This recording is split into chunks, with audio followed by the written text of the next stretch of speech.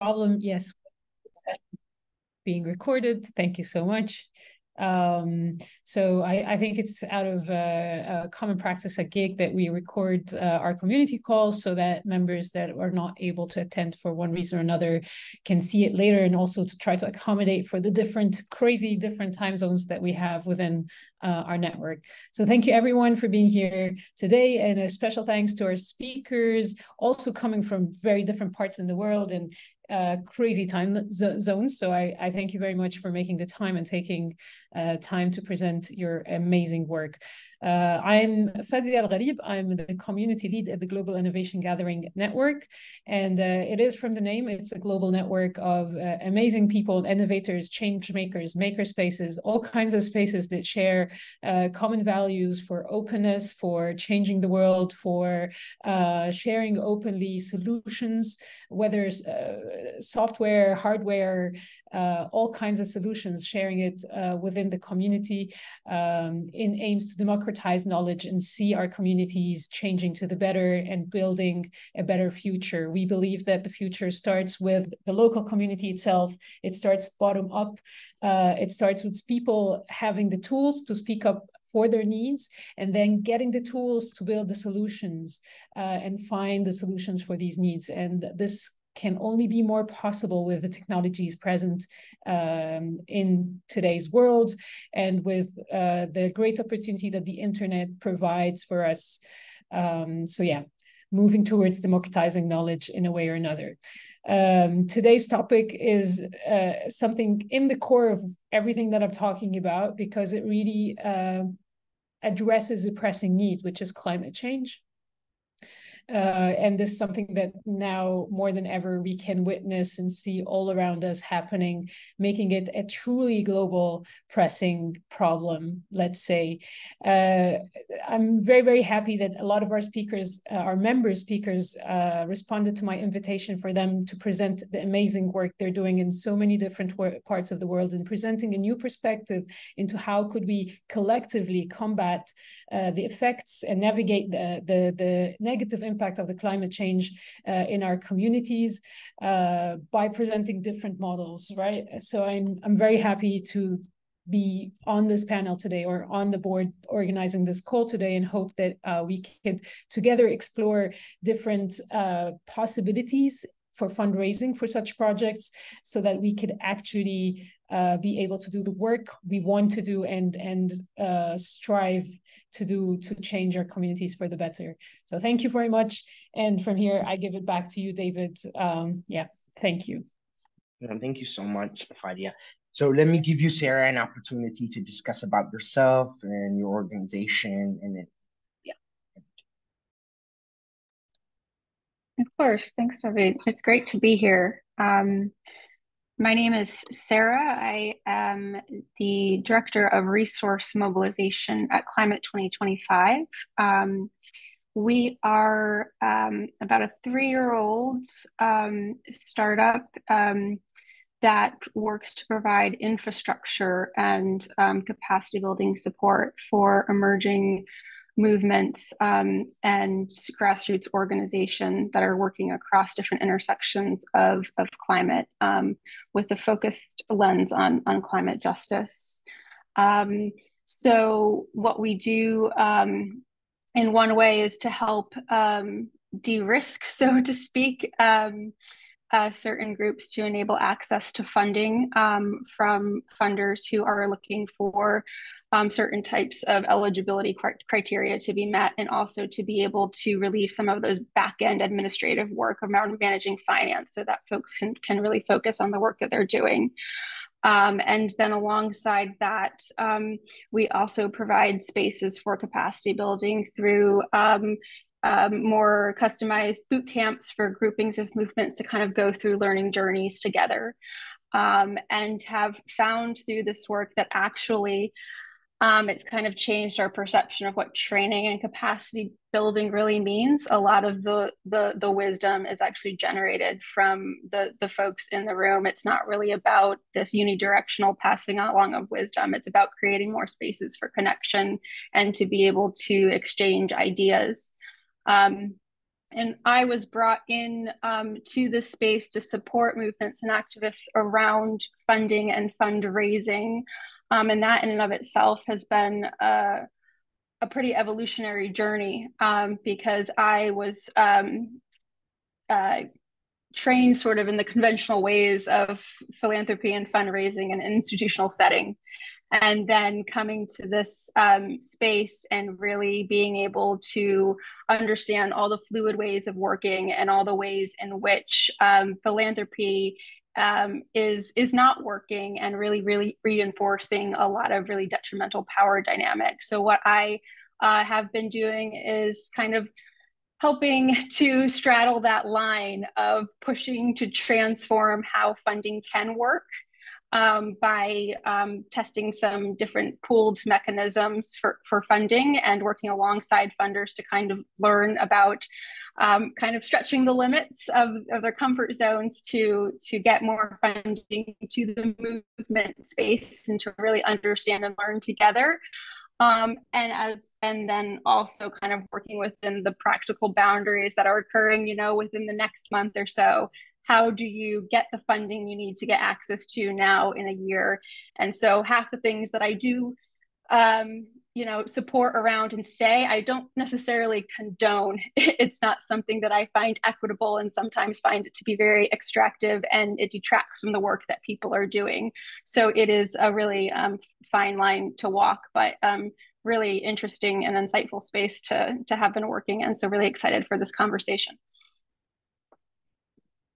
Thank you so much for, for the introduction, Sarah. So let me go ahead and pass it to you, Kuldeep. Give us, you know, a little bit of background about the organization you're working on, but expand about the specific project that is uh, community-led and innovative in terms of trying to address uh, climate change. Thank you. Thanks so much. Um, hello, everyone. I'm Kuldeep. Um, I work at uh, Field Ready as the innovation lead for the Bangladesh team. Um, I've been working in the sector for about eight years now, various different capacity, mostly focusing on humanitarian response and innovation in the humanitarian response. Um, uh, would it be okay if I share my screen just to give a quick uh, presentation, or uh, would you want to just? Uh... I think if you could just discuss about it, would be nice. Any presentation material that you have, we'll share it as a, a resource at, at the end. So. Mm -hmm. Yeah, so uh, one of the things that Field Ready really focuses on is localization. And most of the time in the humanitarian responses, uh, localization is only looked in into from the capacity building perspective. But the thing that we really focus on at, at Field Ready is localization of the supply chain. Um, you know, majority of the humanitarian aid supplies are imported from all across the, you know, manufacturing global hubs like China and, and India, and then transported into these countries for humanitarian responses where you know they come through massive long supply chain system that have really big carbon footprint.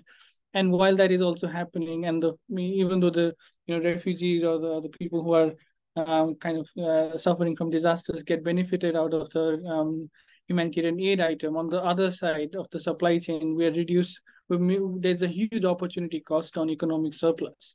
If if the product is made locally um, and we improvise uh, we focus on localization of the supply chain where the humanitarian where the let's say the community in the country that is either hosting the refugees or you know uh, is around the uh, you know communities that are suffering from disaster. If they're able to be kind of build a, if we're able to build a capacity and then kind of support them in making humanitarian aid items um, then we will enable a huge economic uh, social surplus uh, opportunity cost that we're currently losing. You know, uh, what that also allows is kind of co social cohesion to function between the local host as well as the refugee community, which typically is always in a challenging situation, um, and kind of building that local supply chain. Uh, will uh, that is what Field Ready focuses on, and you know, uh, local manufacturing in in this case. Uh, into our topic, local manufacturing needs local supply of materials, right? Plastic is an important supply of material and this is why we're invested um, in supporting innovation in local plastic recycling. We feel that there is uh, there is opportunity that we can uh, through innovation that we can bring in local innovators and local solution providers to kind of come together, work on different sort of plastic recycling technologies, and create a local ecosystem where the waste can be turned into raw materials for producing humanitarian aid items. Now, one of the prominent thing that we've been working on over the past two years has been a multi-phased intervention on understanding the use of local plastic recycling materials and this innovation in designing some of these hum, uh, as humanitarian aid items in the Rohingya refugee camp in Cox's Bazar in Bangladesh. Uh, and as part of that, this is, we've been partnering with the Norwegian Refugee Council, um, Field Ready in Bangladesh, and Norwegian Refugee Council in Bangladesh. And we've currently gone through two phases of um, innovation processes where at the first phase, we looked at what we can recycle, uh, what can we, what kind of different humanitarian aid products that we can make um, out of recycled plastic, and uh, and in the in the first phase, we honed into looking at how we can kind of use recycled materials as shelter items. Um, nowadays, you know, uh, we mostly typically in the humanitarian response, we look at shelter as a form of just you know a house to live in. But what we thought of was, what if we could use the waste that is generated in the camps? I'll give you a small example. You know, uh, World Food Program gives two bottles of plastic bottles of oil um, in the refugee camp for each household, and there are about 250,000 households. That amounts to about 500,000 plastic bottles uh, indirectly injected into the camps, in the refugee camps every month. That's 4.8 million plastic bottles inside the camp just on oil, right? Oil plastic bottles. Now that's huge amount of plastic waste, and what we're doing right now is we've built these, uh, you know, solution, you know, products like roof tiles, floor tiles, bricks, um, plastic sheets, using different sort of local, you know, you know, innovations and local machineries, local manufacturing capacity here in Bangladesh uh, to build these products uh, that and and in the phase one. In phase two, we uh, in we made a couple of small shelters as part of uh, that that kind of uses a mix of bamboo plus metal plus and a roof tile and a, floor tiles that are made out of recycled plastics. Um, uh, uh, and and this has the potential to have a transform transformative effect in the uh, in in the camps, not just from the perspective of you know, of course, from the perspective that we are kind of utilizing waste into shelter items, um, but also from a livability perspective. You know, uh, there there there isn't a single bed inside the refugee camp. Right? Uh, 1.5 million people, there is no bed, right? People always live in floors, and you know, for elderly, you know, the it's it's a huge issue for their um, you know, elderly, for the pregnant mother, mothers, is a huge issue for their knees and the joints. And if you're able to install these solar, you know, floor tiles that are made out of plastic layer uh, and create an insulating layer, what from the ground, what it does is it it reduces, it kind of traps heat, meaning that cool place becomes cold, and then how you know hot, hot air is not allowed inside, right? Uh, meaning the hot uh, hot, you know, when it when it's hot, it's cool, and when it's cool, it's hot, right? So sort of like insulating layers um, so what we are doing is uh, we're looking at building local supply chains. We've now focused, we've now understood what it takes for us to like scale this solution. It's been two years of research work, lab tests on whether our product is good or not. And, and also looking at how we can not just look at it from a pure technical perspective, but build and and instead of change the plastic recycling into more of a plastic value chain. You know where at, at every point of the recycling system we increase the value of the plastic product so that we're not just selling the final product but you know we are engaging the local refugee community with the local host community to be part of you know further processes more than just collection but you know processing shredding you know cleaning the plastic you know kind of bringing them uh, into the process of production you know there is a huge um, uh, garment industry, uh, you know, in Bangladesh, and which has a lot of potential for you know real manufacturing work.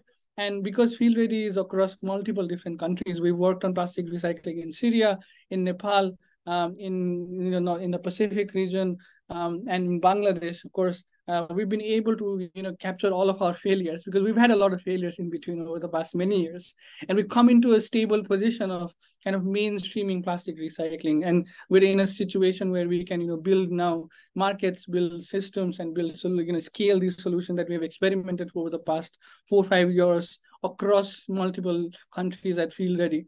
And I feel like, from especially from a perspective of Field Ready Bangladesh, uh, we are we're kind of ready to take this forward. You know, look at looking at like not just focusing on you know managing plastic waste in the community. You know the refugee camps is just beside the Indian Ocean, right? The Bay of Bengal uh, kind of protecting the plastic waste to enter in enter into the river in rivers and the oceans, but also utilize that waste and turn into value for uh, refugees in the in the shelter in the in the refugee camp, so that the the plastic waste truly becomes you know valuable items uh, for people who are who really need these products on the ground.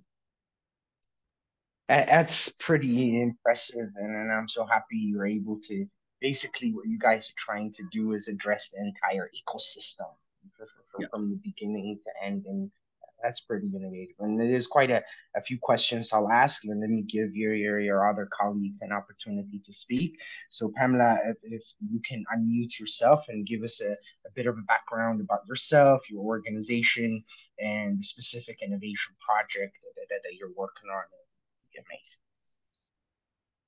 Hi, everybody. Happy to be here today.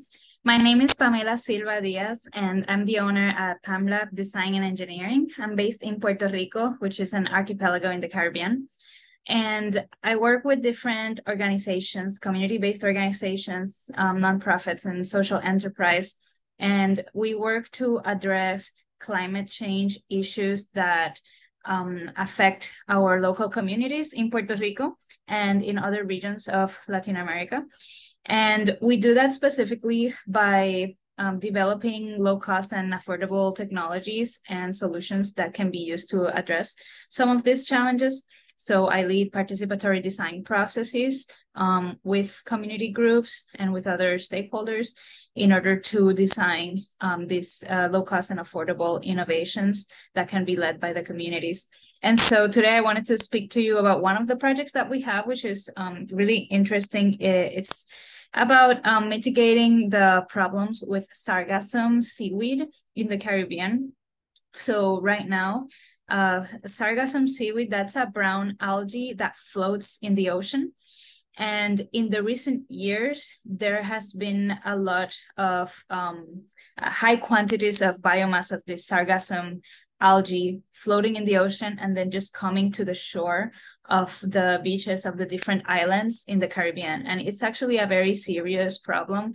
Um, you can have miles and miles of beaches just filled with this seaweed and this seaweed decomposes and it produces a, a, very bad smell that really affects the residents of the coastal communities and also the tourism industry the the hotels and also um, the the tourist uh, sports activities that are done in the beach and also the restaurants that are by the beach it's um, very difficult to to conduct your daily life with all of this decomposing seaweed that is you know smelling very very strongly and also just filling the beach so it's very difficult to to actually do anything in the beach, any activity with so much floating seaweed. Um, also, uh, the people who dedicate themselves to fishing, they also suffer a lot from the seaweed because it gets tangled in their nets, um, it gets tangled in their boats, in their motors, their engines, and that can actually become very dangerous because um, their engines can break down because of all of the seaweed that gets stuck in it.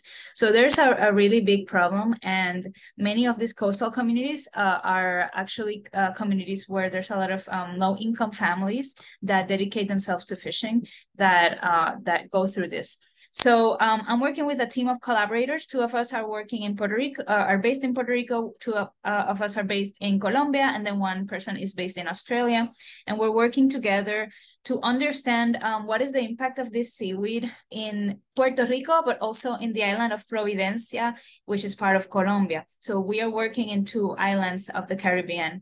And we have been first um, interviewing different stakeholders to understand the impact of the seaweed, but also understanding what is the interest of community members with the seaweed, because with the sargassum algae, you can actually create different products. For example, you can make fertilizer. It can be it can be the raw material to make fertilizer. You could make um, textiles, you could make paper, you could make soap, ink, bioplastics. So there's actually many products that can be made out of the seaweed. So we are wondering what if the coastal community members um, are actually empowered to use the seaweed and they can actually use it as a raw material and then have an economic activity based on products made out of seaweed. So um, besides um, doing interviews and understanding what are people interested in creating, there was actually a lot of interest in fertilizer. That was the, the main interest for the community members. So we held educational workshops where we went, uh, we did step by step um, activities where people learned how to turn seaweed into fertilizer, also into soap and ink and paper. So they were interactive workshops where the community members actually learned how to create this, and they were very interested in creating businesses out of this. And then the other part of our project is that um, the the way to transform seaweed into a product, it's actually uh, it, it it can be a very tedious process because you need to wash, you need to collect the seaweed, you need to wash it, you need to dry it, you need to shred it sometimes. And um, it can be very difficult if you're doing this by hand. And there's some uh, industrial machinery, but it's a more of an industrial level. It's not accessible to the community members. So we did co-creation workshops to see what ideas people have to use local materials to create machines that can be used to transform the seaweed more easily into these products. And then we did the same also with the fishing community because since they have a lot of problems with the seaweed in their boats, then they wanted to create barriers, floating barriers that prevent the seaweed from getting into the shore and to the beach. So we actually did these workshops and we created in Providencia, we created a prototype with the community members of a floating barrier that is made with materials that are locally available in the island. And then in the east coast of Puerto Rico, we're also working with fishermen to do the same thing to create this locally sourced floating barrier. So that's um, in a snapshot, you know, this this project. And basically our mission is that um, the coastal the members of coastal communities can um, take leadership and agency and really take this problem and turn it into this opportunity but that can really be led by them and they can really benefit from this resource thank you no, thank you so much for, for, for that explanation and important work you're doing. I have a, a few questions that I want to ask, but like I said, I'll save it to um, the next one. And let me give uh, Pyro from Blue Grease an opportunity to, to speak about the specific project you're working on, as well as if you add on a bit of yourself, as well as the organization. Then we'll come to you, Matthew. Okay. Thank you very much for the invitation. I'm a mechanical engineer and I represent Blue Grease. We're an open source hardware development collective, which means that we develop hardware solutions that remain publicly available. So people can actually build them replicate them, modify them, or even sell them because the design is for free and provided under a free license. Our core project at the moment is called uh, Libre Water. So it's this idea of creating one small desalination device. So the issue that we tackle has to do with the water scarcity and providing clean drinking water. And we try to build this in a way that people can actually replicate it by themselves in maker spaces in the global south. And this is where GIG has played an important role connecting us with maker spaces there. So we can actually co-design the solution and make sure that it can be built and manufactured locally. Uh, so this is what we've been trying to do for the past two years. Now we're working on the solar part of this device so after having testing it in the lab, now we try to make sure that it can just run on solar energy, so it doesn't need any electricity, just solar thermal. And then hoping that next year we'll be able to deploy it in the field and make sure that a lot of people in rural communities have access to clean drinking water through this device. So this is mostly what we're up to now. No, thank you so much. And like I said, I have a lot of questions for you as well give an opportunity to, to, to, your colleague Matthew. If you can go ahead and introduce yourself and give us a little bit about you know your organization, specific you know climate related innovation that your organization working on, would be appreciated. Uh, thank you so much. Uh, first place, I'm so grateful uh, to be here on this platform. I'm Matthew Lubari, and um, I'm the Director for Community Creativity for Development, refugee founded and led organization in Uganda, uh, which was formed in 2019. Um, how the organization came into existence, uh, we identify a gap in uh, repair of uh, items uh, when we arrived in the camp. That was in 2016. Uh, most challenge that we faced was like most organizations, especially the humanitarian organizations, were more focusing on um, uh, life-saving kind of activities. For example, uh, construction of shelters, uh, health-related programs, education, but uh, neglecting, you know, uh, repair of items that are in the hands of the, the refugees themselves.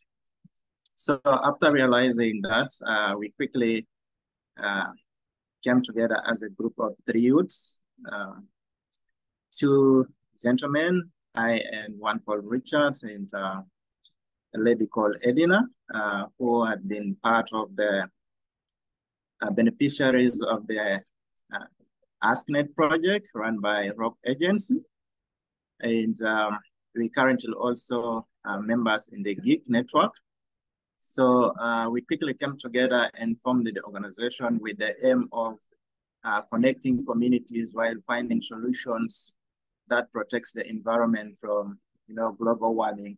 And our focus has been more in solving issues related to climate change. So uh, we have been doing a number of activities uh, that are related to sustainable practice related to uh, e-waste management. Uh, that is to say, providing repair services and trainings, uh, e-waste uh, collection of items that have reached end of life uh, from the hands of the refugees, um, including doing innovative ways like upcycling and recycling of those uh, electronic waste that have reached end of life.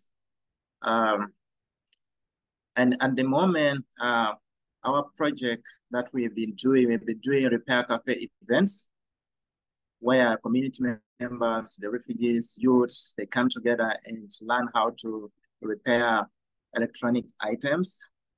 Uh, so we move from one location to another within the uh, the, the, the, refugee settlement. But then the refugee settlement is quite a big uh, area. It hosts about uh, about 127,000 refugees from South Sudan, uh, Rwanda, Congo, including Central African Republic. And it's wide, you know, apart where one distance from a village, it has seven villages so Rhino Camp has seven villages and uh, I mean seven zones, and each zone has villages and they are quite far apart from from each other. So refugees tend to move a very long distance to uh, to repair their their electronic items. By then, before uh, CC4D uh, came into existence, they could travel uh, a distance of over 60 kilometers, which is quite long and have you know a lot of risk, more especially for women and girls. Yeah, some you know fell victims of um, of rape or other kind of violence during their way to repair those electronics items. For example, most of the electronic items that are in the hands of the refugees uh, include solar lamps, radios, mobile phones, uh, and other non-electronic items like bicycles that helps them to, to communicate, access information, and uh, for security at night, for example, lightning at night, but also to charge their mobile phone uh, devices. But uh, over the first years, um, during arrival, UNHCR as well, including other partners, helped the refugees, they distributed to them electronic items, uh, like what I have mentioned, uh, some through uh, humanitarian support, some through instant types kind of uh, uh, giveaways, and others, you know, being bought by the refugees themselves. But the challenge has been the disposal of these electronic items once they get um, they get to their end of life. Like any other items, you know, it reaches to end of life. So most of those items has been discarded uh, or disposed of improperly through, uh, for example, uh, ways such as burnings, which is the most common one, uh, throwing in, in pit holes, uh, and throwing in gardens. Yeah. And improper disposal of such waste is so uh, dangerous to the climate and as well to uh, to human health in a way that uh, it has toxic chemicals that when enters into water bodies and people con uh, consume the water, it intends to know what renewing someone's life. But also burning results into polluting the environment. Yeah. And as well, loss of fertility um, of the soil due to uh, uh, non-degradable uh, bio, not, I mean non-degradable components. Yeah. For example, the batteries, they don't degrade easily and other kind of plastic weights from these electronic items. And this increases the risk of chronic diseases such as cancers as well, and as well uh, impacts negatively on the soil fertility. Uh, for example, currently uh, in Rhino Camp, you find us that uh, crops, you know, there's the too much sun heat has destroyed most of the crops. And the contribution of electronic waste is also uh, one of the big causes. Yeah. So according to uh, a, a, report um, being published in 2022 by the uh, United Nations uh, International Training uh, Association of Research, you know, uh, it highlights that the amount, I mean, the number of waste management in in refugee settlements, you know, it's insufficient. For example, lack of data and lack, lack of data on the items that goes into the refugee camps and as well the amount of waste that is being uh, uh, being managed. And until now, it's only one partner that is currently uh, doing waste management uh, kind of activities, and it's only related to solar uh, solar products, and that is IOM, which is implementing in a Bidibidi refugee settlement. But in Rhino Camp refugee settlement, it has not been uh, happening. And, and uh, our idea, what what we did was to to do uh, the mobile repair cafe events that we move from one location to another to repair on spot to do on spot repairs and as well training. And this uh, repair cafes, they are so good in a way that it promotes as well peace among the refugees themselves because when the refugees went to the camp, all they go with different kind of mindsets. Some were being traumatized. Uh, but when they come together during the repair cafe events, you find that um, they get relief because the the activity is kind of a unique activity that uh, it has a lot of fun in it, and more uniquely the inclusion of women as uh, women technicians in those repair cafe events, something so unique that has not been, you know, happening within uh, the refugee camp.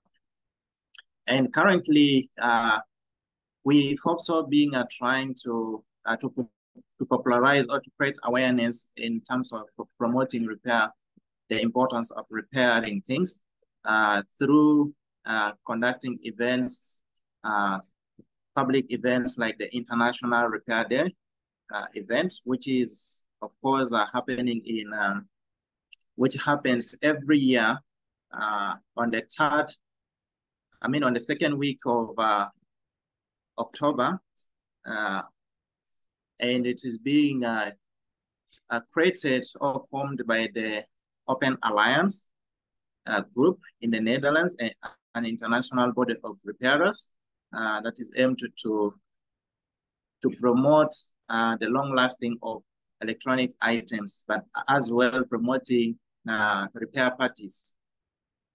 Yeah, so that is the current uh, project that we are trying to, uh, to, to look at in order, and it's celebrated every year within uh, uh, mostly in the European countries, but when it comes to the African context, uh, it's not yet you know, known.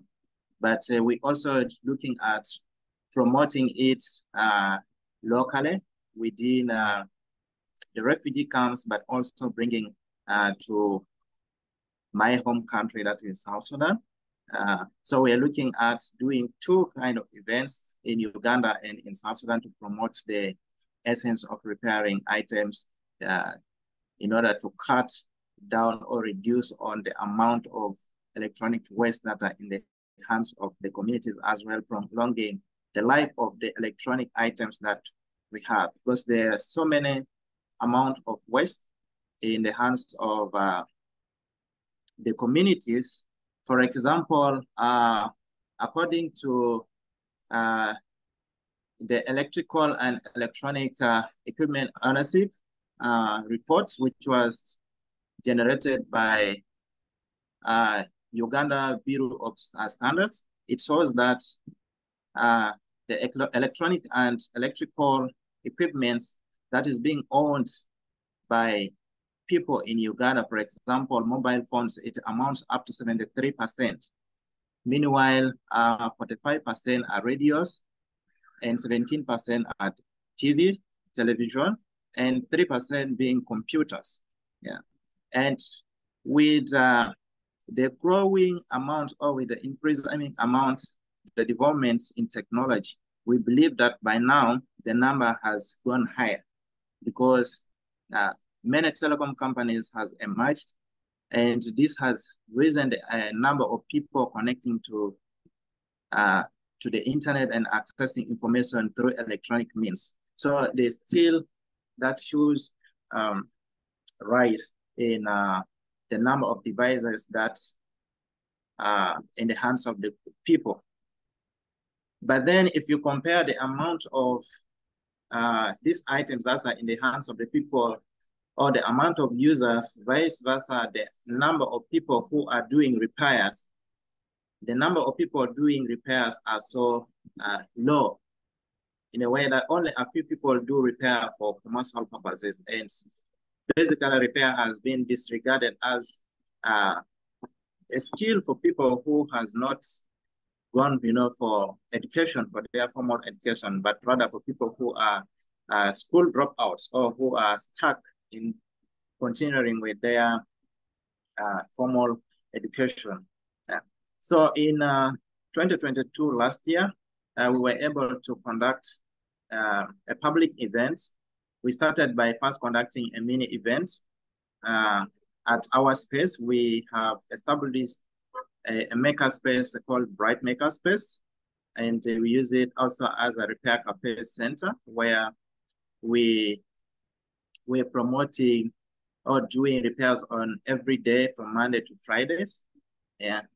And then we managed to to hold a public event to where we brought together uh, partners who are operating within the refugee camps to, to share and showcase uh, how we do our repair things and how uh, young youths can repair items.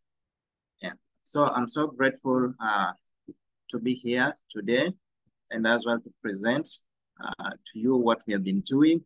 And otherwise, uh, because of time factor, I mm -hmm. I beg to stop here and look forward for questions.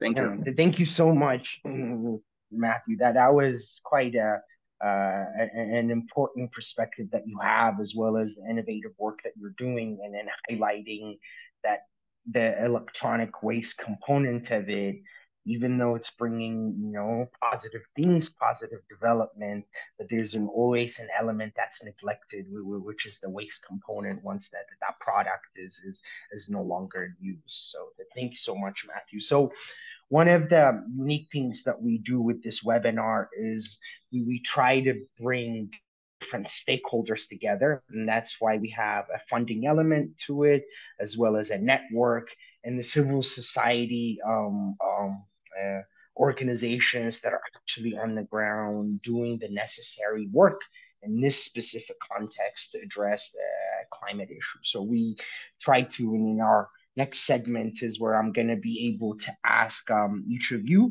you know, and being able to give us the different perspectives. So collaboratively, we'll be able to gain knowledge. And what we want to do is be able to have a, an understanding of it. One, in terms of being able to scale up the, these amazing projects that we're doing, get a better understanding of the funding landscape that, that, that as it stands and the importance of how networks can support as, as, as well as the, the, the funding group as well too so we want to be able to explore the resource opportunities understand the emerging trends and navigate especially the common challenges that, that, we all face so let me go ahead and pose my first question and it's gonna be um, to you, uh, Fadia.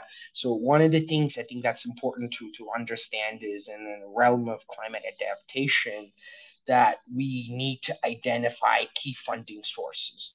When we look at the statistics out there, it's one of the sectors that actually gets the least amount of funding when it comes down to it. And when you bring it to Global South organization, within that 1% that that's available, it goes down. So let me get you to, to ask this. You know, you guys get an opportunity to work with multiple organizations globally, you know, doing different things. So as a network, you do assist your your um, organizations that you work with in terms of being able to, to give them funding opportunities. So from your perspective, can you give us where you see to be the challenges that that's section one and to where opportunities can come in terms of trying to, to resolve that. And after you answer that i'll phrase the same question to sarah so she can give us uh, uh, the, from the funder perspective as well as to you guys as well to as an organization where you're succeeded where you're having challenges so i think we will be able to get a, a much more kind of an eagle's view of where the funding landscape is and how we can move together trying to, to address those issues. So, but yeah, let, let me uh, give this, the, the mic to you. Thank you so much, David. I think this is actually a question that I would like to throw back at some point to our speakers because, as um, I mean, that's exactly what we try to do as a network. And in my role, we try to cater to the needs of our community. So we really believe in the work they do, and we really and we believe in the power of connecting these people uh, uh, to share the knowledge and help build on the existing knowledge, right? So there's a lot of knowledge that exists within each community uh, that could save time and save years of unnecessary replicated work that has happened in a different community. And one of the biggest issues that we face in this collective arena, let me speak of um, uh, this exact point. It's now that we're talking about how could communities and different organizations in different parts of the world that face similar issues can collaborate together to find collectively solutions that work for all um, uh, for their communities. Um, and this has been one of our questions, like, are there schemes, funding schemes that could help that kind of collaboration that can foster, for example, South-South collaboration so that uh, these organizations could come together and uh, work on certain projects. So, thankfully, we've actually worked to see that happen in a few cases, and we're very, very uh, happy to have um, uh, facilitated funding for one of our recent projects, which which is called the LabStorm. Uh, uh, on climate change. The LabStorm project uh, was a collaboration that happened between two GIG members in Brazil. And when we say Brazil, Brazil is a huge country, right? And we were able to connect two of our GIG members to work on a common uh, issue that they faced with the recent floods and all the uh, uh, climate catastrophe, catastrophes that happened uh, at the beginning of this year and last year. Uh, so we brought these two members who were able to conduct community workshops to learn from the community on the, the, the uh, dangers that they faced during uh, the catastrophe. And these communities came together, together from uh, Recife, the state of Recife and the state of Santos, uh, so that they can collectively work on finding solution, as I said, and they came out with five prototypes to be used in a case, uh, God forbids, of, of, of a renewed catastrophe, right? Of ha- catastrophe happening, and this was enabled through a very very small fund that we were able to obtain for our members, the North uh, South bridges, for example, and um, uh, and this is one of the funders that we've dealt with, for example, in the past uh, years, and it's it has this nice scheme uh, that would allow the entire fund to go to our local actors. We only act as a vehicle, so we almost uh, don't get any money for this, but we are the German entity that is getting i mean we could also address this funding scheme at a at a certain point but that was one of the reasons why we established ourselves for example as a german entity um, uh, in berlin right? So that we're able to unlock this kind of funding for our members. So this is one of the things that we face as a network. We try to really capitalize on the power um, uh, that can come out of our members collaborating together and sharing their experiences uh, as to the projects and the problems that they face uh, on a daily basis and how could we really capitalize on that shared pool of knowledge and replicate it in different places? So speaking of open sharing and replication that also uh, is some of the keywords that have been used in our speakers presentations today. So i can say that there's an we're still exploring the fundraising scene in terms of this kind of uh, uh, work, and we'd hope to do more of that, right? Uh, and yeah, I mean, I, I don't know if that answers your questions. I'm happy to also elaborate more. It, it does. And there's one part that, you know, in our discussions that we've had in the past where you said that this compliance portion or being a physical host, how your networks actually tries to be that for for the members. So can you just add because that that's one element I think that's important whenever it comes to people applying to funds, especially smaller organizations that are just maybe received one or two fundings but now wanting to scale up their projects. Yes. So as our network came to be at the very beginning, uh, there was a, a, a, conversation, right, with um, uh, where should we found ourselves? Where should we we be grounded right? Where our network uh, our our co-founders are based in berlin but we're a network of so many great organizations that are mostly uh, based in the global south. Uh, and this was a, a, really insightful moment at the at the start of, of of this network because then we also kind of placed ourselves uh, we needed to place our, our presence and our establishment. And there came the idea that there's a lot of funding that is only open to European ent- entities, right? Or this idea of a physical sponsor, or this idea of some organization, smaller grassroots organization, not being able to access certain funding because uh, because of like due diligence and and I don't know all these fundraising funders uh, criteria that exist, and being us and very passionate about what we're doing, we just realized that this is actually this would be one of our core uh, uh, missions.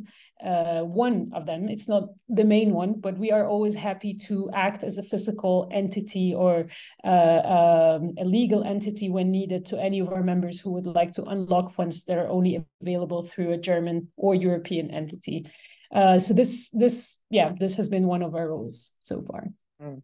No, thank you so much. So let that so now we got the perspective, you know, how networks can support and enhance funding opportunities. And it's always best to get a perspective from civil society organizations. So let me go to our friends here. Kuldeep, I want you to um, um, kind of look at two, two, two aspects of it. Successes that you've had as an organization when you guys are seeking funding as well as the challenges that you encountered because i think that that's very important and today we actually have uh, you know pretty big global representation from from three different continents so let, let me go to you and if you can answer that question uh, it would be great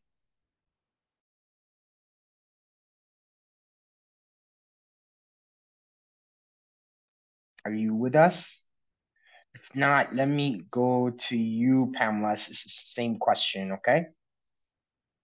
Hello? Oh, yeah. Did you hear my question? Or you want yes, me sorry, there, there was a power cut, so I had to switch to my phone. Uh, oh, my apologies. apologies. Um, no, with regards to your question, um, David, uh, you know, typically humanitarian responses are, you know, it's these are emergency funds Um, and what happens is that you know the the foremost impo the foremost sort of uh, you know priority is the is the basic humanitarian support package, right? Um, what that then leads to is you know organizations develop like six months long projects um, and one year long project and do not have and have a very response driven lens and not a sustainability lens typically these humanitarian crises especially the refugee crisis even though everyone wants it to be temporary very few of them really are temporary and but the humanitarian actors cannot say that otherwise you know, it, it goes against what they want that they would want the refugees to settle back in their own country. So what happens is that like every organization that um, tries to focus on innovation really looks for innovation that are already proven and already great. Um,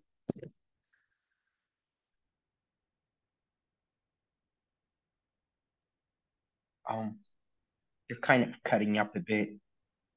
Let's give you uh, a few minutes to see if you can come back but I, I do agree with you. I, I think when it comes to the, the, the aid sector, and then I think we, we one of the things that KujaLink exists is, is we play an advocacy role in terms of how aid is transferred. You know, we're one of the biggest uh, advocates when it comes to um, unrestricted funding, where we're we give an opportunity for organizations to, to be innovative and to grow. And I think especially when it comes to the, the, like you said, the humanitarian sector, most everything, obviously you do have to address that. But like you said, if you look at, you know, refugee camps, they, they, they, they end up started to be to last for um, six months up to a year, but in most cases they exist up to 20, 30 years in some cases, especially if, if you go to Uganda, some of the, the settlements have been created. They were supposed to be temporary shelters, but they're still functioning until this day. So I, I, think you're having an internet issue. So we'll, we'll, hold off to that question. And Pamela, if we can go to you. And, and so same thing, you know, really give us uh, kind of a view of as, as, as an organization, the, the, the, challenges that you've encountered in terms of being able to access funding, you know, specifically focused on philanthropy, you know, on foundations. But at the same time, which I think we always forget, is the successes you've had as well, because I think that's the reason. And the more we share the successes we have, it would be easier for other art organizations to replicate those efforts. So let me pass the mic to you. Sure. Um, I think uh, it, it can be pretty challenging in general to be fundraising in this kind of social impact um, sector because there are a lot of organizations doing amazing work and, and not just amazing, but I think uh, doing really um, really important work that is that is helping people's quality of life and even um, people's safety and well-being.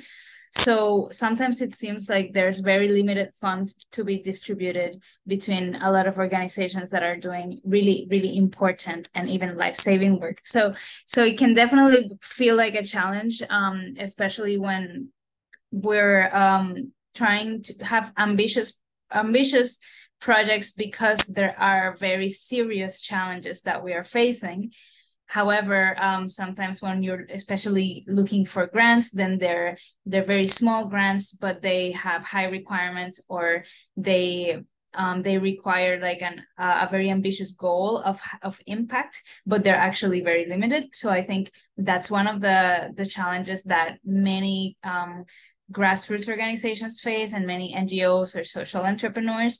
I think that's a very common goal, just the kind of access to funding for the type of work um, that that we're doing in kind of this intersection of innovation and but also the social impact part.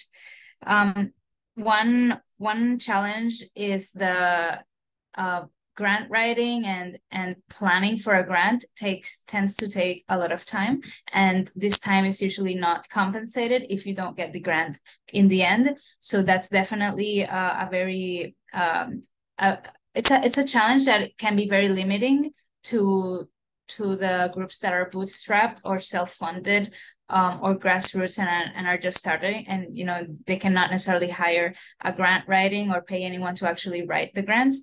Um, so if if the grant is not received then um, nobody is compensated for that work. So that can be also um, pretty challenging.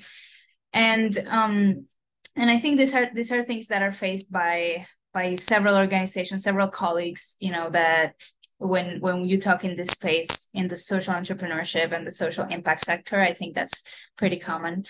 Um, and then in terms of success stories i i agree with Fadia that collaboration is very powerful. So um, sometimes um, when when the groups get together um, and they share the load and also share the resources that can actually be pretty powerful and when we're talking specifically about grant writing, because that's one of the main uh, revenue streams that organizations have um, in climate change adaptation, then at least when that when that load is shared and when those resources are shared and, and elevated, then I think um, it's uh, higher higher chances of uh, getting competitive grants, um, but also it's less risk than trying to uh, tackle the grants on your own. So I think the collaboration is is actually very important and then just building upon what um what impact you have already made i think that can also be be very very powerful and and i think sometimes we think about um, about funding in the terms of, for example, the, the grants that you've received, but also there's a lot of wealth in the expertise that you have around you, the talent, the in-kind uh, um, the in-kind resources and contributions that that you have, especially within the community groups. And so I think leveraging those and elevating those can also be very powerful in attracting more stakeholders and more collaborators that can support the cause. So those are those are some maybe some insights from my experience. No, no, I think you know one of the things is you know I do believe in the power of collaboration. One form of collaboration is sharing information. So actually, there's one of the things that we're doing is we've partnered with the unfunded list and we're actually finishing um, this phase, but we're actually reviewing the proposals are being reviewed by experts who've worked in foundations that are currently in foundations. So that is an offer that that will be rolling out in fall, which is going to be phase two.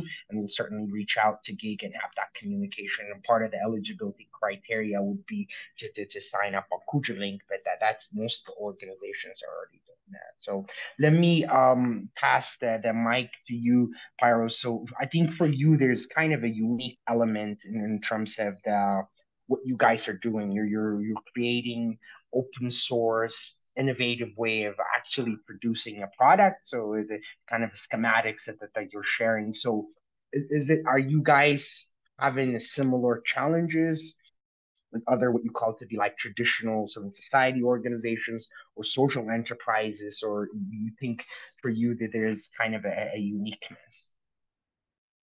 Mm, yes, I think there is a uniqueness there. Mm, but I will take to where Pamela left it because we specifically face this duality. Like being an open source collective that we develop technology, on the one hand, we have a lot of people, individuals, experts in the field who have contributed to the project because they believe in that and what we do. And on the other hand, it's quite difficult to attract funding because being open source, it means that, well, let me take it from there. Like usually technology could be developed either from a company or an institution like a university. So a startup, for example, can give something in return, either being future profits or being equity or something else. And the institution has different ways of being funded, like big programs and so on and on. But being a small crew that you develop technology, it's not easy to access either one of those. So that's that's a difficult thing that we face. That so we have a lot of people who can contribute, and that's amazing. But when it comes to funding, there, what we have seen that helps us is like you find foundations and organizations that you share the same ethics. So they have to believe in the idea of technology has to be open. They want to support open source hardware. They want to see the empowerment of the local communities and not products being sold to them. So you really need to reach this level that you understand each other very well, and then funding can be achieved. So that's one thing that we have faced specifically. And it's close to developing this technology because it's one thing being in the field and you can prove that these things work. So we've been doing this for 10 years. And it's another thing when you're hidden in your basement or working with other maker spaces around the globe and still not proven that you can do is what you claim. So this is a, a tricky situation to be in. Mm. Another thing that has worked though in this situation is awards. Is like if you think what you're doing is unique and innovative, well, you can also try to get some awards, and this has worked for us. And so you can get some funding from there. So with the design awards or other kind of competitions, then you can also attract some funding to remain sustainable. That's, I mean, I think that that's one of the things that we've actually been posting recently as well too. That is a unique way because there's a lot of global competition when it comes to um, climate change and innovation. So that is one way. Like I said, that obviously the their the competitions are pretty high, but I think if there is a good idea worth sharing, that is one kind of new source of funding opportunity. And thanks so much uh, for, for sharing with us. So Matthew, let me go to you, and it is the same question in terms of you know funding opportunity in terms of success, funding opportunity in terms of challenge. But I think when it comes to the, the, the, the refugee context, most of the funding that, that, that comes is it's done through bilateral, either it's coming through UNHCR or, like you said, um, much multilateral donor organizations, which compliance wise are much higher and much harder in terms of trying to, to fund access. So for you if you have you had success when it comes to these multilateral fundings? Or as an organization do you guys usually focus on uh, the philanthropic funding space that exists? Let me, let me pass the mic to you. Um, thank you so much. Um, in the case of the the refugee camps especially accessing funding is very very difficult. Uh, one in a way that um, most of the international organizations they uh, they have the lack of trust on uh, uh, I mean on grassroots organizations which are you know uh, formed locally by refugees. Uh, they have the thinking that uh, they they don't have the capacity to handle finances or you know to, to to handle funds. So there's that lack of trust uh, from these organizations. And then some of the organizations, they see or they look at um, uh, refugee-led organization as competitors. Yeah, like they are competing with, with them, and that is something which is very hard. Uh, if I can say only a few organizations who managed to get uh, funding uh, from, let's say, UNHCR, uh, for example, there is an organization called uh, Community Technology Empowerment Network, which I previously worked with. Um, so they, they, they, are the only organization that has been getting funding from, from UNHCR and Rhino Camp uh, since 2017 until to date. But uh, getting uh, funds is really, really very difficult. And um, like uh, uh, Pamela has said, we tried like writing proposals and you know the time of writing these proposals, sometimes you write the proposals and uh, you then go through and the time for waiting for uh, for these uh, proposals outcome is really huge. But also you find out that the nature of the proposals that are being put, it requires quite a huge amount of time to, to write things. So which also delays uh, implementation of other projects. So we have been uh, depending on uh, members' contributions, the members of CC4D, especially uh, us who volunteer to, to carry on, like we get uh, money by ourselves, like maybe we happen to work, volunteer with other organizations, and get the money in order to inject into CC4D's activities to see that activities run through. But also, uh, we've also been getting uh, support from uh, other international organizations like the Rock Agents, uh, the Global Innovation Gatherings uh, through their programs. For example, uh, last year, individual programs on mentorships, programs where uh, we are given uh, funds to implement projects and after implementing projects, we ensure that also we run uh, we inject some money to run CC4D's activities and as well develop maybe buy their tools and equipment uh, for doing the, the activities. Yeah. So funding generally has been very difficult uh, in our context. And um, we also uh, do get funding through uh, like uh, organizing the crowdfundings, especially for events uh, like the International Repair uh, Day event last year that we hosted. We were able to, to run a crowdfunding. And even this year, we also have a running uh, funding crowdfunding campaign, GoFundMe campaign. Uh, but the challenge has been that we could not meet our targets uh, of even the, the crowdfunding. Yeah, because it needed a lot of resources, especially the marketing aspect uh, of the crowdfunding is something that needed also resources to be injected in. Yeah, and uh, for example, in the recent uh, campaign, we could get a lot of messages uh, for people who wanted to uh, messaging us about how to uh, to market it further, our crowdfunding. But at the end, when they give uh, the ways at the end they needed funds even to run and, and and share the, the crowdfunding to within their network. So which has been also something uh, very hard. So basically in terms of funding has really been uh, uh, very hard. And uh, the funds that we've been getting from the German government through uh, rogue agents was that they are mostly action-based uh, kind of funds. Yeah. So uh, you find that it's not consistently like um, can be uh, one week uh, kind of activity or two days kind of activities that we do. Uh, yet there's huge that needs to be uh, to be done.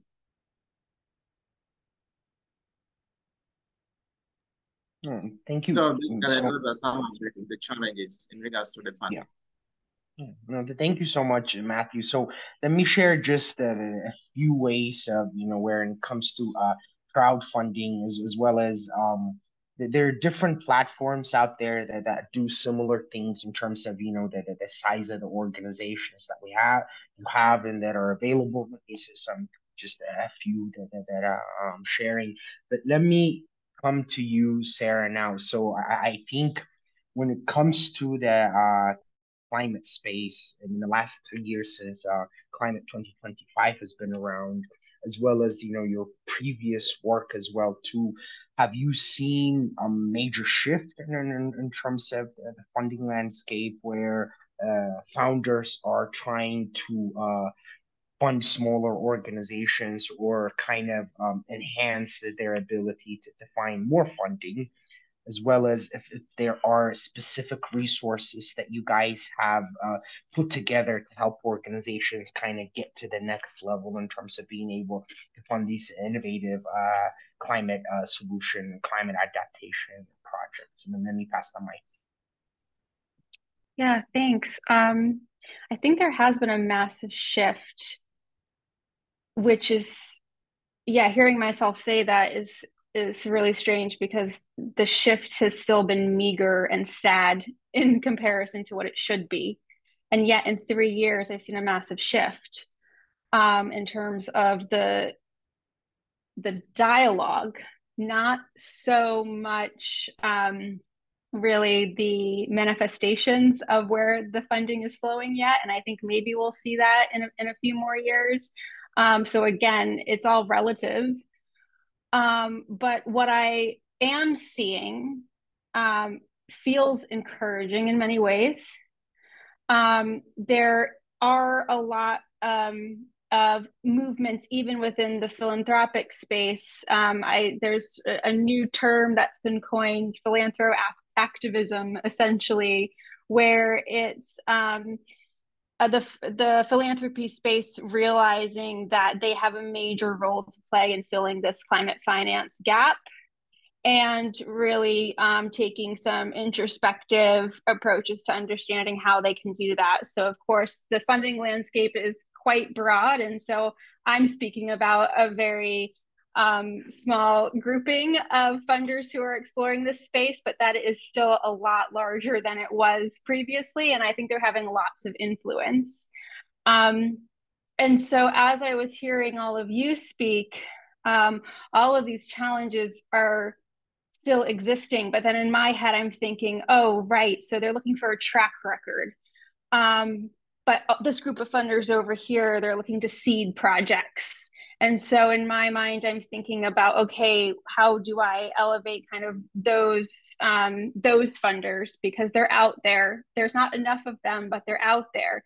There are funders who are now exploring more models around trust-based giving and uh, focusing on learning as opposed to outcomes. And so that's becoming, um, you know, a, a, bigger space that that folks are are looking to invest in. And then it's also a little bit, and I know this sounds kind of strange because these power dynamics are so problematic and they're meant meant to keep people in their place, so to speak. But I really think there's a lot to be said about stepping into your own power because a lot of funders don't know what they don't know. And um, they're looking to be told. They're they're just not kind of giving that that um, that impression.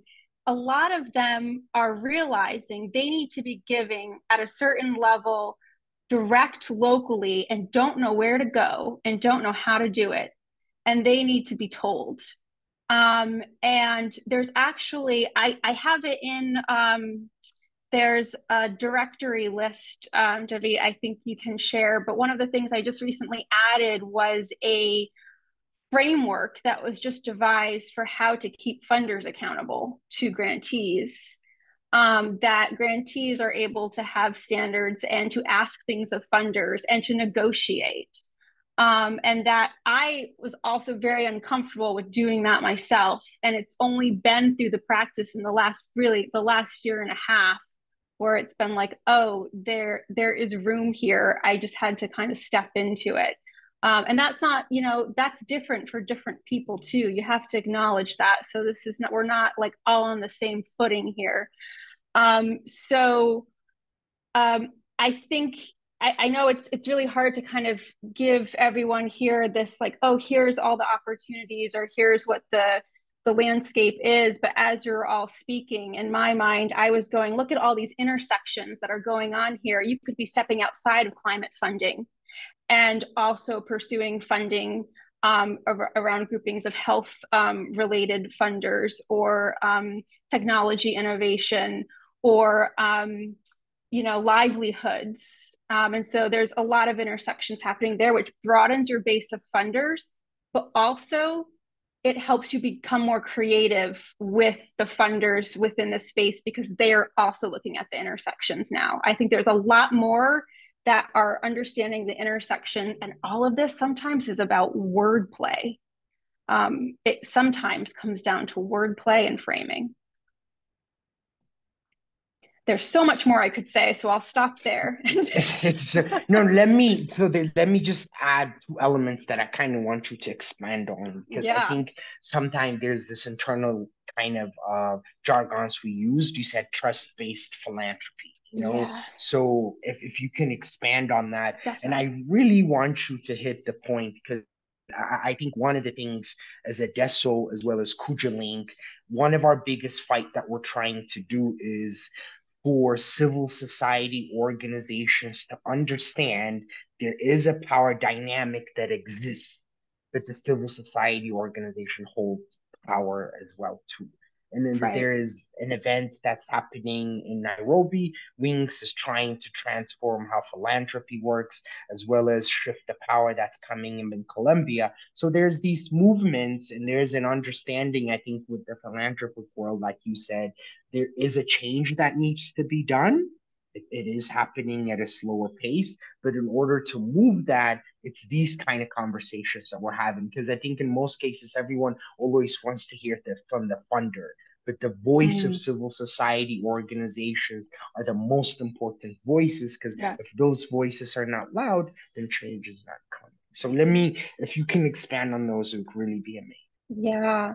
Um, so, just in terms of the trust based philanthropy, that's been this whole movement of funders really going, wait a second, we're supposed to have, like, a lot of them use excuses around we need to, you know, auditing purposes or things like that around we need to have um, verification of how the funds are spent and in which way because of certain legal and financial obligations we have. And some of that is true. But if you really go back and look at what criteria they need to hit, it's not really that extreme. And so I think a lot of funders are going, okay, so there's that aspect of it. And then there's also, we're just not best placed to, to tell you where the funding is spent and how it's supposed to be spent and what you're supposed to get out of it. That's for the the group to decide, the folks who are leading on the work to decide. And so there are a lot of different funds popping up that are really about providing that unrestricted funding. Now, albeit it depends on the, the level of funding, and some of them are more, you know, um, longer term grants recurring than others. So there's so many different models out there now, but it, it entails very little reporting or reporting in a way that is not about just having to sit down and write this grueling report around impact and data that is just difficult to keep up with and might not say much anyway. Um, it's about reporting in ways that are actually mutu- mutually beneficial to everyone to really understand the change that's happening. Um, one uh, example of that, and this is just my own very meager lived experience of this, because again, I um, this is very recent for me to have this um, that direct experience going to funders and going, look, um, these activists are saying this and we want to pool your money. We know we can address your um, reasons for not being able to do that financially and legally. We want to pool your money and um, we want to have where that money goes and how it goes um, and how it's spent be decided by these activists. And we will work with them to to understand and learn how effective that can be and give you the learnings that we we all want those learnings. It's not about no no people want to understand their impact but it's about on whose terms and how that happens in ways that allows people to get along with their work in flexible and, and faster ways. Um, and so that's what we're doing with one of these pilots is just how can we like practically get funding to individuals how can we practically do that in a non-restricted way that meets all the you know the obligations reporting obligations that we have with the least burden on the folks who are receiving that funding? And how can we all learn together in ways that build community that um, are able to uh, build on the collective wisdom of everyone in that group and then you know inform a better funding model. And that's what a lot of people are doing is how can we inform better funding models? Um, and yeah just to speak to one of your points a couple of you brought up around competition uh, that's another big issue where you are um, basically feeling like you have to compete with folks for money. There's not enough to go around and um, really focusing on that collaborative aspect whether it's just you know also for the grant writing component but also funders like to know that you know where you are in the ecosystem and how you complement others and how you're mutually reinforcing each other's work. And so that collaborative aspect really actually helps you. Even if it's not a partnership you can handle right away because you don't have the capacity being able to name it and name that you understand kind of how your work is reinforcing another's another's work actually makes them think, oh yeah, my funds are multiplying because I'm actually also helping this group out and this group out. Um, so it's really some of these are just um, little reframings. Um, I mean, the whole system needs to be like uprooted, but in the meantime, these are some little reframings to think about uh, in terms of just really being a, a bit more, um, making the space a bit more approachable and and maybe um, conceivable for getting that funding. I don't know. Well put, Sarah. I mean, I think for me, like the reason we always do these webinars is for two practical reasons. One, the pragmatic approach of how to address today's issues, but at the same time, we should always keep in mind there's this system transformation, system change that we're fighting for. Because for the last 60 years, if you look at how the um, um, you know, the, the humanitarian as well as development, which for me now climate falls under that category as well too, is as these funding mechanisms that are set up at the multilateral as well as the philanthropic space have really not allowed for innovation to move forward. And I think, in my opinion, there's always a statistic that I use is that if you look at the cosmetic industry in the US, they spend about $3 billion just in the US a year only for research and development. That's not adding marketing and other things. And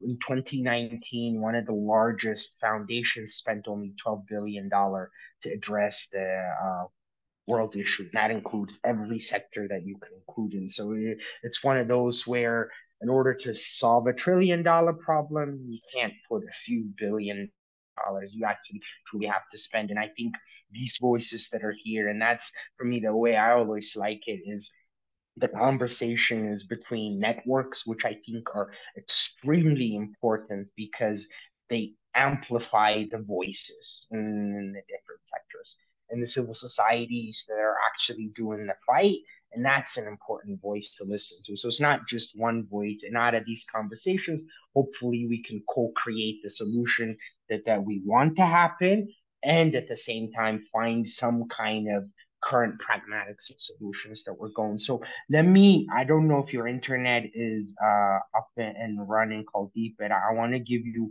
a full opportunity to kind of explain, you know, some of the challenges and successes that you have. And I think when it comes to, like you said, this um, emergency and disaster areas, it's a very important conversations to have because they're always supposed to be temporary, but, but they last many, many years. So if you let me um, pass the mic to you.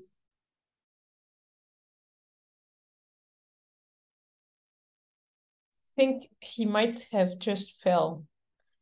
The, oh, yeah. he's still having some internet issues, right? Okay, okay. So we have um have concluded about an hour and a half, which I think is impressive. You know, and the time has gone fast. So there's two ways that we can go about it. So in some cases, when you open up questions, there are no questions. So if that's the road, then uh, there's another format that I'll follow where there's a few questions I think we can kind of go around and answer. But I do want to give an opportunity to our participants both ways. I mean, we're here to co-learn and co-share. So some of the questions that I've asked, if you guys have any suggestions and challenges and successes that you have, please raise your hand and I'll, I'll, I'll go ahead and unmute you so you can share with us. So let me open the floor to, to our participants.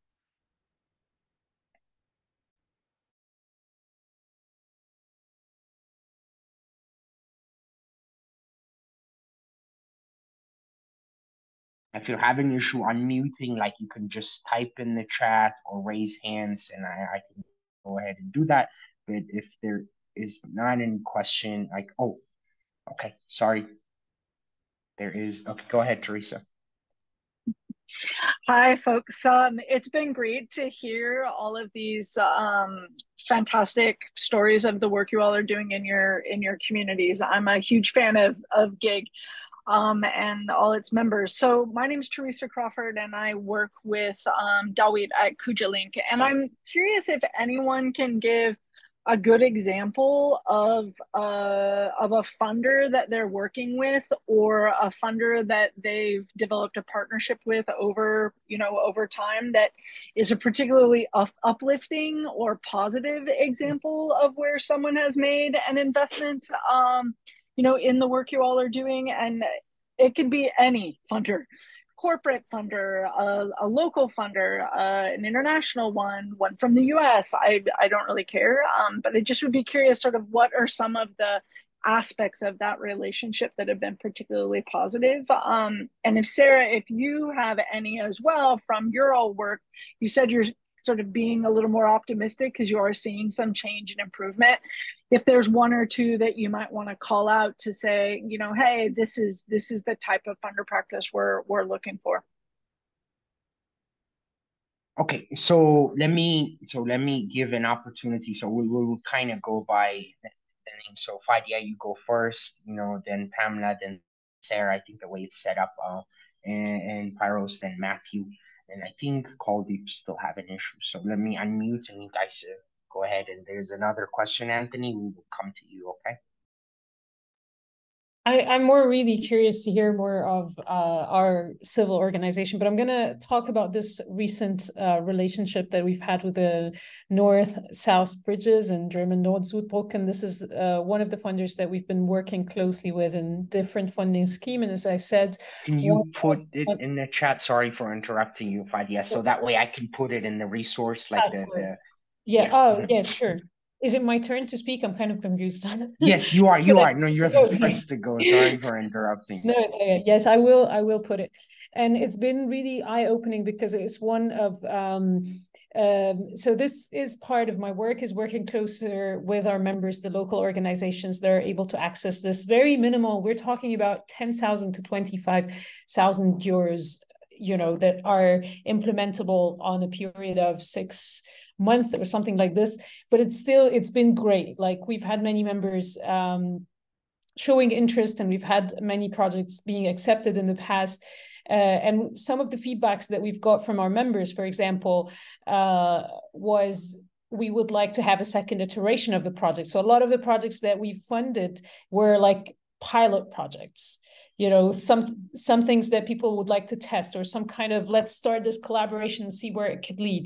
And then as soon as it goes somewhere this is when the funding period ends and, and the project has to be put in another drawer. So this is one of one of the things that uh, we've been facing. Of course there's this whole like even though it's a it's a it's a great funder on so many level but we're still having to work with this for example the language elements. You know, they're a German funder that still expects the project to be written in German and reports in German. So we play a lot of big role in translating in the middle between the local organization or the civil society organization and um, so you know and the funder uh, themselves. So it is still you know we're still working in this area, right? And even though we're able to communicate that feedback to them, but they have to work with a bigger bureaucracy of you know the ministry where they're funded and you know it, it just feels always like there's a lot of hurdles and so many things that might come so basic you know and so simple that you have to navigate the whole time so this this this from my experience it's it's a great collaboration between this funder but it's still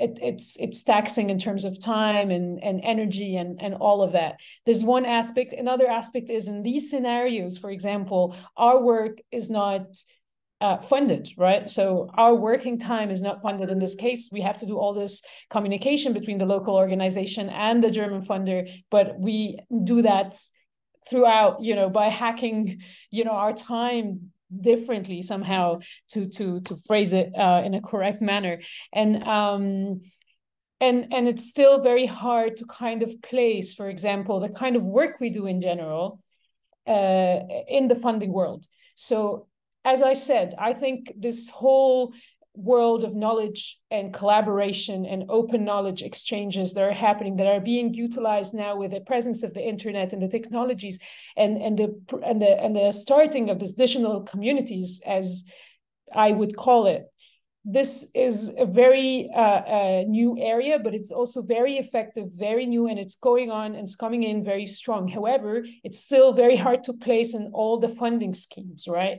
So it's not, we don't only do climate change, for example. We don't only do uh, uh, youth learning. We don't only do so. It's it's like we need to box the kind of work where we see a lot of value in. We try to fit ourselves into small boxes so we're able to fund our working time so we can do the great stuff that we're doing. So I don't know if that answers your question, but it's just like again, it's about boxing ourselves within the funding schemes instead of having an open conversations like the one we're having today where we say hey look how cool and how great what we're doing. We can we want to talk as sarah said we want to show impact. We want to talk about impact. But everyone would uh, uh, express that impact differently right? We would we would show impact differently. And and and and that kind of conversation is the thing that i feel we're lacking in our small ecosystem. Uh, and this is why i'm so so happy and so grateful to have this uh, conversation. And and this is why also why i really appreciate the kind of work that KujaLink uh, does uh, at, at, that moment. And yeah so thank you so much for it. And uh, i hope this thank you so much. You know that that was that was a really, great answer. So let me go to you, Pamela. Same thing, then Sarah. Okay.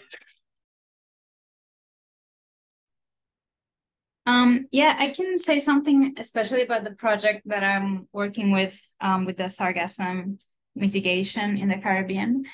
And this fund, this project is funded by National Geographic Society. And um, I can say that something that has been very helpful from National Geographic is that um, I think they understand that projects changes, projects change um, as uh, as they go on.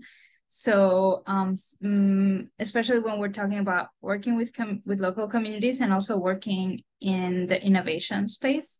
So you cannot predict everything in the moment that you're writing the proposal, and you might need to make some changes to your activities, methodologies, to your impact, to your budget, um, to results.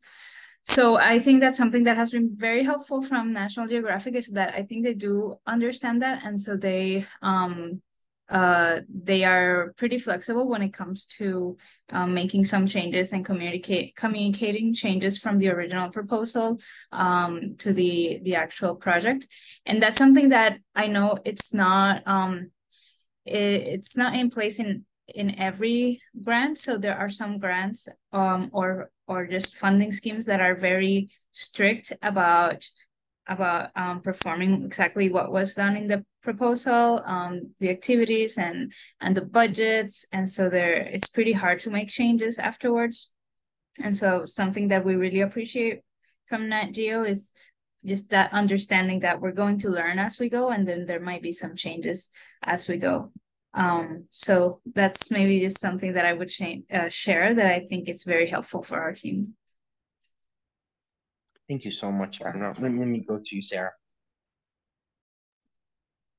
Yeah, I think there have been um, a couple, one of them just being one of Climate 2025's own funders. Um, so they're the Mont Pelée Foundation. And um, uh, you know, they they funded a lot of our core work, and um, and they were one of our largest funders, and so it felt like there was a lot of pressure, uh, at least what I was kind of generating in my own head of what I needed to be producing for them when I walked into these meetings and how I needed to be holding myself and, and holding the space. Um, and when things weren't going the way that we planned, you know, there was one point at which I just resolved to go in and go, look, it's not this anymore, it's that, and here's why. And um, it was a really energizing conversation. And I felt like the person um, on the other end of the call also felt a sense of like connection and trust and, and higher confidence in us for being able to name those things and say those things and bring it to the table and go, we're, we're really serious about trying to work through this issue. Um, and so that for me was um, kind of one of my own transformative moments for how I interact with this space and how I just bring authenticity to it. And that's easy to say and not easy to do. So yeah, I, I get almost how that sounds because if I heard that three years ago, I'd be like, what are you talking about? Um, so it it is um, something that comes with like the experiential aspect of it, that practice, but really again stepping into that power because I think that um, a lot of it is based on that trust and um, I'll also speak to another group that I'm working with. They are not themselves a funder, but they are a network of funders. Um, they're called the Environmental Funders Network. And um, I met with one of their community managers about a year and a half ago. And we were just sharing frustrations about um, getting funding into the the movement space and being again really open and honest with each other about our own vulnerabilities working in this space and and how we felt about what power we had or didn't have power we needed to name and things we needed to do and and kind of understanding those different levers. Um, building that connection with that network um, and then really being able to understand okay they themselves are not funders but they are influential with a bunch of funders and they can help guide conversations. They can help um, create new opportunities um, and, and, and we can bring visibility to lots of groups that we're working with. Um, and so just understanding, um, Fadia was talking about networks and um, the power that comes with that. It's so organic. You almost don't, you, you can't plan it, but you have to keep working at it every day because um, those are the types of things that just create those um, those open up those opportunities for funding. So it is very relational. Um, but it, yeah, it's very it's very network based, and you do have your funders still who are still back in, you know, their armchairs, and they want certain types of um, outputs, and they want you to speak a certain way. And sometimes I might have confounded them or made them go, "Huh, that wasn't what I was expecting." but I don't think I disappointed them either. And I they wouldn't have been ready to give us funding anyway. So I just kind of treat that as um, a, a conversation, a networking conversation that still yields opportunity in the future. Thank you so much, Sarah. Let me go to you, uh, Pyros, if you have you know, even in these competitions, there's always these interactions that you have. So, as Teresa's question go, if there's specific ones that you want to highlight, so and put it in the chat so we can put it in the resource that we'll be sharing afterwards. Yeah, thanks. I will be happy to share two stories. Mm, the one has to do with this Helidoni Foundation.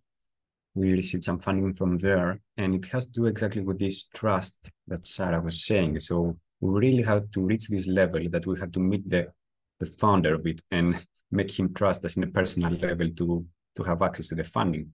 And if you've ever been to fundraising, you know how impossible that is to have access to this kind of people. Typically, you just uh, send this like an application, nobody sees anyone. This is so impersonal. So this was a process that took months, like discussing, meeting each other, and it it was also interesting that this was a local foundation. So we also had luck on our side. For example, one of our members would meet him cycling on the streets and he was also cycling. So seeing that, well, we actually share the same values and the same way of living and cycling together and discussing. So you can build this trust, you know, okay, these guys just not here for my money. They actually live this way. So I can believe in them. So that was an interesting story for us to see that it might be very difficult, for example, to attract the funding if it's so impersonal and you're so small from the States, for example. But if you try something local that you can have a face-to-face conversation or you can participate in an network like the Global Innovation Gathering, that you meet people, that you get to see people face-to-face and then interact, then that's totally different. And then the second one I can share, which is also interesting, is the Hardware Prototype Fund. This goes very specific, for example. You have to go niche of the niche. So this is like exactly what we're doing. So they were funding open hardware development. It's like, okay, this is what we need. These are big guys. But again, it takes a lot of effort to find it and see, okay, these are so specific and so close to us that we cannot miss it. it's like you're made for us. But we got it, for example. And but you need to spend a lot of time waiting for the application time to come communicating, networking, patience, and so on for these kind of opportunities to come. And but then looking for the exact partners that share the same passion about you might give you much higher chances of receiving the funding than go to more generalistic ones. These are maybe two stories that I can say. No, that's actually, I think, you know, one of these discussions for me, these webinars that I like is there's always this bit of information that you have gone through and then that of that experience you're teaching someone else that, that they're kind of the required skill most of it is a soft skill that you can't put down I mean I, think thanks for sharing that I, i'm not seeing matthew on here unless did he drop off? He might have some internet. I think Matthew's under the name gig member now, right? Is that you, Matthew? Let me give you co-hosting right if that is um I think okay. C can can you hear us? Yes, yes, I can I can hear. Sorry, I I, I ran out of internet a bit, so I had to change from one device to another. Sorry, it happens. so, yeah. So, did you want me to, to repeat the question um Teresa asked, or did, did you did you get an opportunity to hear it?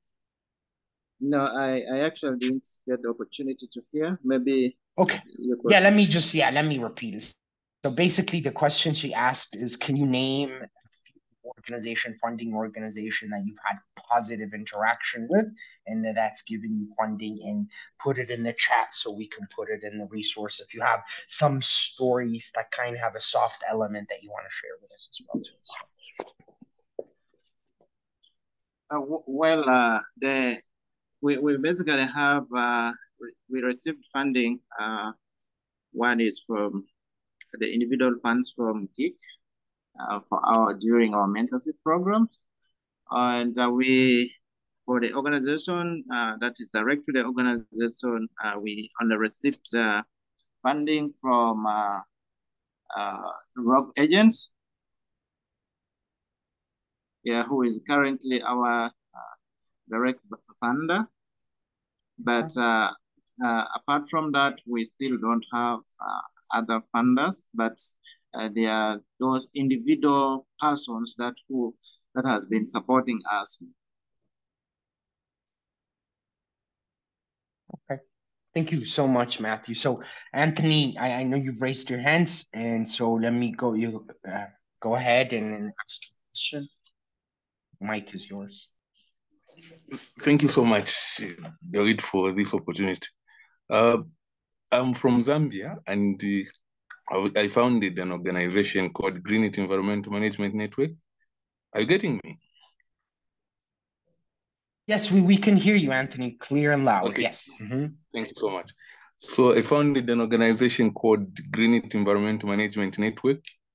I started uh, this organization in 2021 during the period when COVID, there was a lockdown during the period of COVID.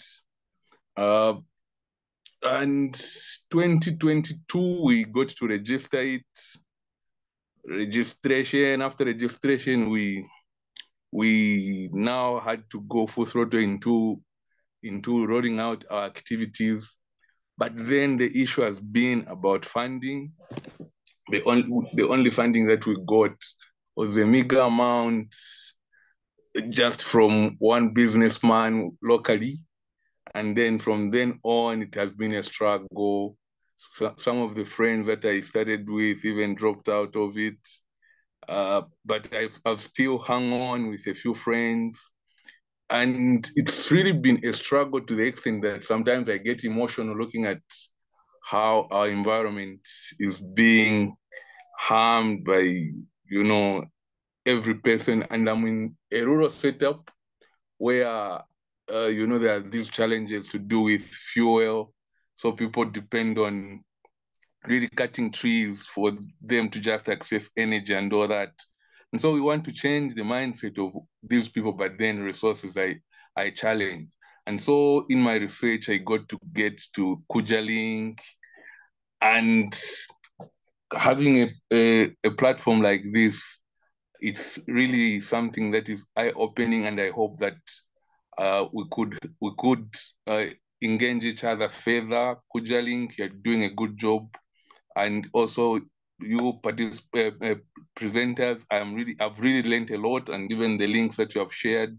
I I hope that going forward I can get to have some of the funding that we need to roll out our programs and our activities. I thank you.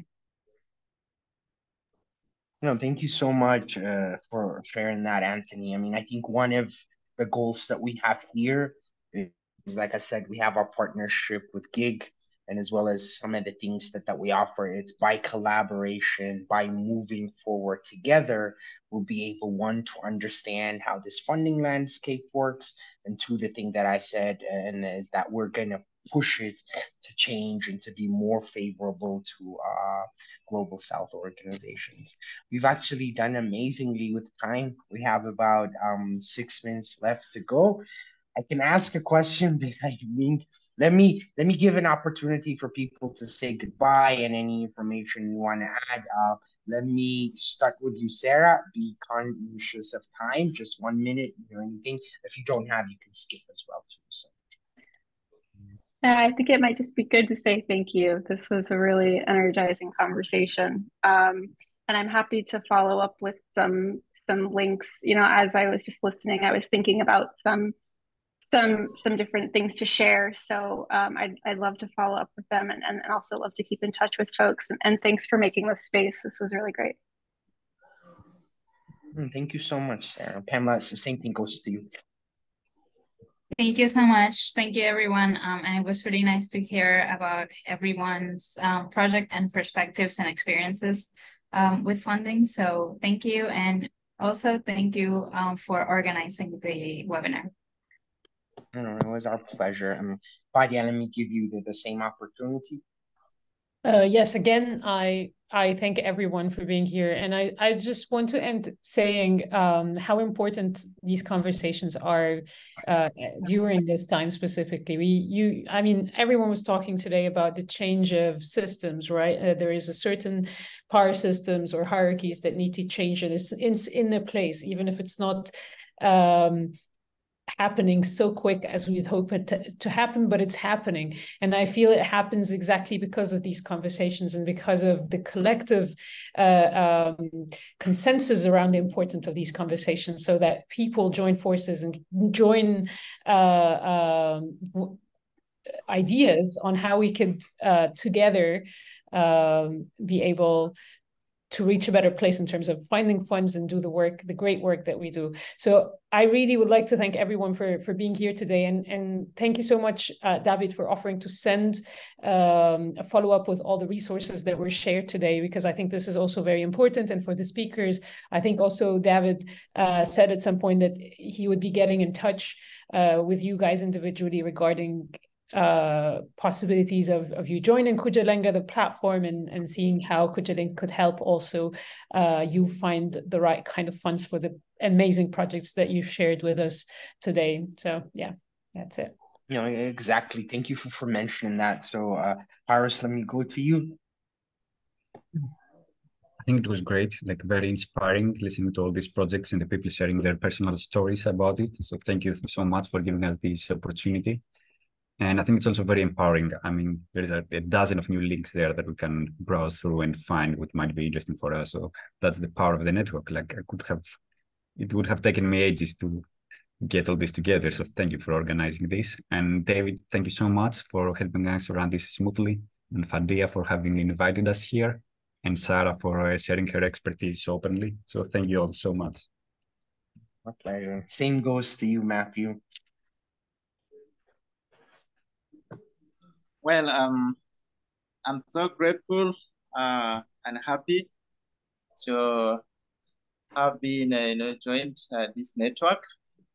Uh, I mean, also this uh, session, it's, it's really so insightful and with a lot of learning and also networking, which is so grateful. And I'm so happy that, you know, such platforms are the one that has, you know, uh, made us CC4D very visible, especially to the uh, to the world, and uh, we are so thankful for this. And uh, it's it's really so great and a good opportunity for us as uh, CC4D, you know, being in such uh, network of people uh, uh, who share resources and knowledge, you know, openly. And it's so grateful. It's a lot of learning, and it's so grateful and looking forward, you know, to uh, uh, uh, having more, I mean, attending more kind of such events and also networking with with donors or with funders from the global south. Thank you so much. I'm really so grateful. Thank you so much, Matthew. So I have put my um, email address. This should be the last one, and a link to, to, to our website as well. And one of the things is, you know, we've just made friendships and we definitely want to continue this friendship. Please reach out to me so we can kind of have a much more in-depth conversation moving forward. And to those who've been friends, and I, I'm definitely enjoyed this. And I really want to thank the speakers for coming, you know, for time is the most precious thing for me and in everything that you have. So the fact that you gave time to, to be here is really amazing. And I really want to thank you uh, from the bottom of my heart. And we have one minute. I think we've done really well with time today. So, and I wish you all, uh, you know, depending on your time zone, a good morning, a good afternoon, and good evening until we, we see each other next time. Uh, enjoy. Goodbye.